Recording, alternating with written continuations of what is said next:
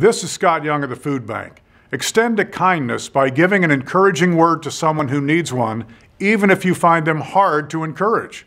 Live kind, Lincoln.